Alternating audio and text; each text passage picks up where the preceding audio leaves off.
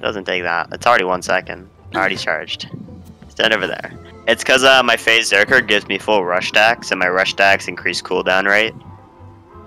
So it's pretty heckin' good. Alright.